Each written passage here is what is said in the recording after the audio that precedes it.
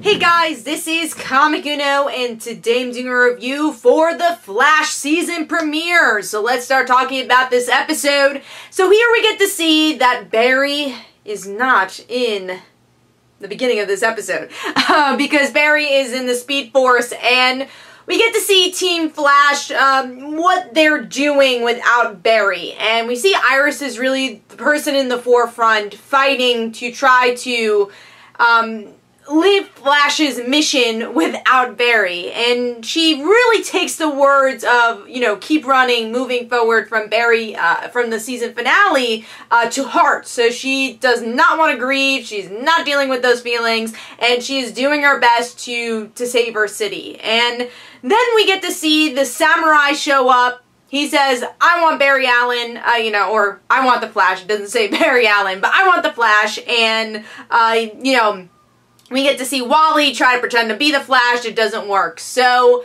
Cisco, with the help of Caitlin, because she has returned, uh, bring back Barry. But he's not exactly the Barry we know. He uh, is writing all these symbols. He's speaking gibberish. Uh, but with the kidnapping of Iris, and not in a damsel in distress way, she does get kidnapped on her own because she wants to get Barry to be Flash again.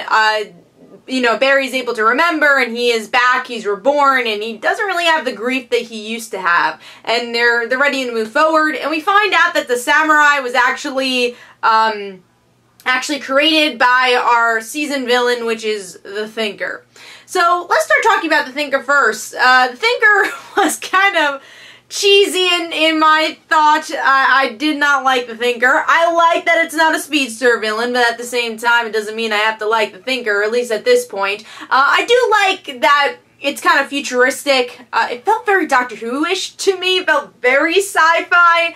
Uh, this villain, I guess we'll see where it goes, but the aesthetic and, you know, that ending just kind of feels like mustache twirling type villain, which I don't love. I like some deeper villains here.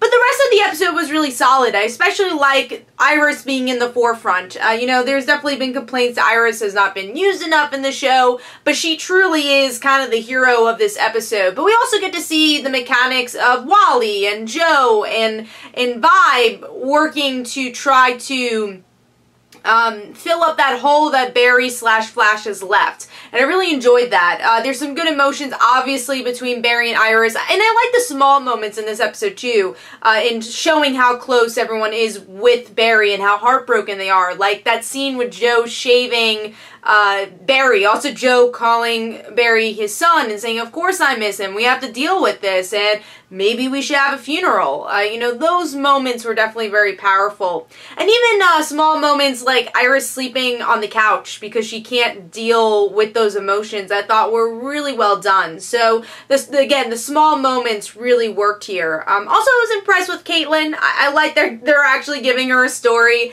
and I like that she kind of has this werewolfness to her power powers that she tries to control the Killer Frost uh, because the Killer Frost keeps coming out, but she's still Caitlin, and how is she going to balance all that? I think it's going to be a really interesting journey for her.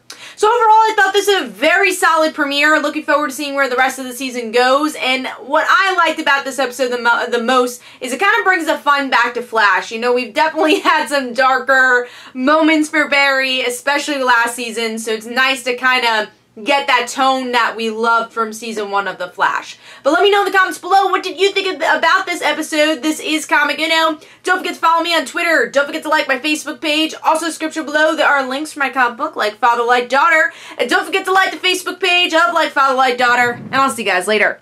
Bye.